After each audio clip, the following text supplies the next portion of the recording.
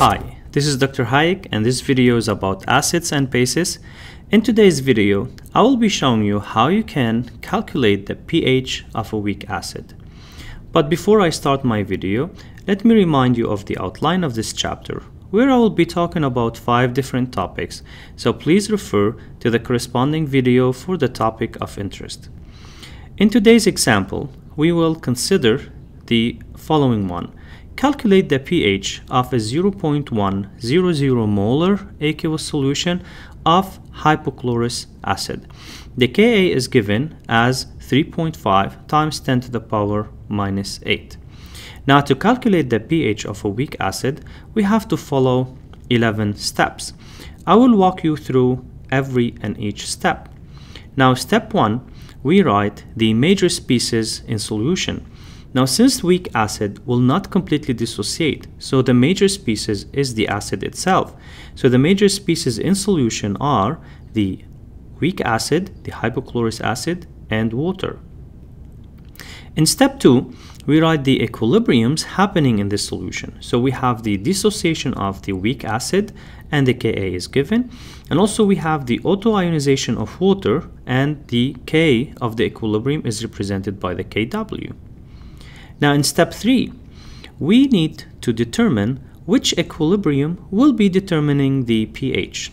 Now looking at the values of Ka and Kw, we can see that Ka is higher than Kw and therefore the equilibrium that will be determining the pH is the dissociation of the weak acid. So now we can write the expression of the equilibrium constant, which is Ka, that's equal to the product of the concentrations of H plus and OCl minus divided by the concentration of the hypochlorous acid.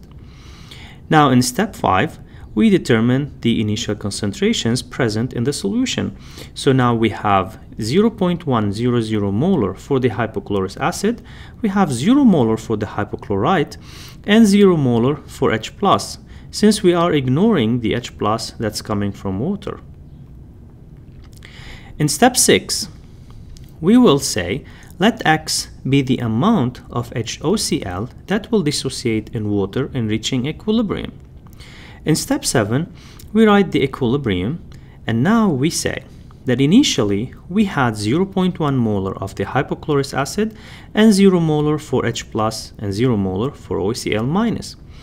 Now after X molar uh, of HOCl dissociates, we will have X molar of H plus produced and X molar of OCl minus produced. Now at equilibrium, the equilibrium concentration of HOCl will be 0.100 minus x molar. The equilibrium concentration for H plus will be x molar. And the equilibrium concentration for OCl minus will also be x molar. In step 8, we will replace the equilibrium concentrations by their values and therefore we get Ka is equal to x multiplied by x divided by 0.100 minus x. Now to simplify the calculation, we have to do the following assumption. So in step 9, we will say that since Ka is small, we will consider that x is too small compared to the initial concentration of hypochlorous acid, and therefore it will be neglected. So if we rewrite again the expression of Ka, we find that x squared divided by 0.100 is equal to 3.5 times 10 to the power minus 8, which will give us a value of x to be 5.9 times 10 to the power 5 molar. Now before we continue forward and find the pH, we need to check whether our assumption of neglecting x is a correct one or not. So step 10 we just use the 5% rule to verify whether the approximation is valid or not. So to verify this, we will just divide x by the initial concentration of the hypochlorous acid multiplied by 100%. Now, if the answer is less than 5%, our approximation will be valid.